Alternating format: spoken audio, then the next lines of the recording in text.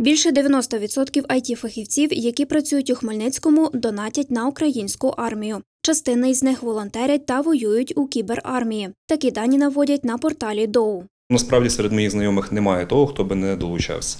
Хтось це більш е, е, якимись власними ресурсами, ну мається на увазі а, щось зібрати, щось приготувати, щось організувати, закупити якусь техніку, перегнати машини. Комусь простіше донатити саме коштами, тобто вони не мають часу, але вони можуть і відчувають цю потребу. Також наш студент, посвістак Павло, він в своєму ранньому віці е, зміг е, назбирати 70 тисяч на дрона, якого успішно передав на ЗСУ.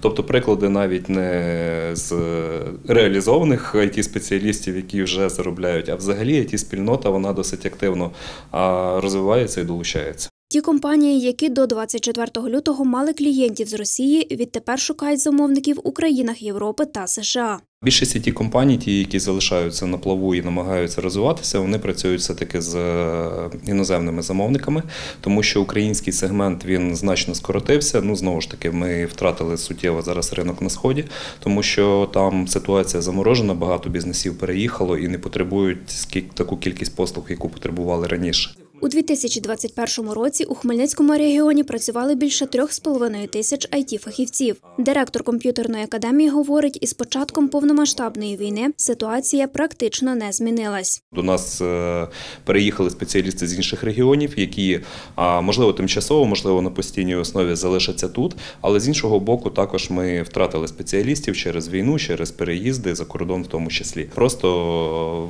вийшов relocate одних спеціалістів на інших. Хмельницькому регіоні працюють 16 вищих навчальних закладів, які щороку випускають півтисячі фахівців. Разом з тим набирає популярності неформальна освіта. Деякі IT компанії від себе дають. е, Невеличкі такі підготовчі, ну не те, щоб курси, але тим не менше вони е, зацікавлені в тому, щоб підготувати спеціалістів саме під себе. Ось також зараз багато різних. Благочинних комерці- некомерційних організацій, ось які е, на волонтерських засадах намагаються дати якийсь початок для людей в ІТ. Для того, щоб стати спеціалістом, потрібно багато працювати самостійно. Без цього ніяк.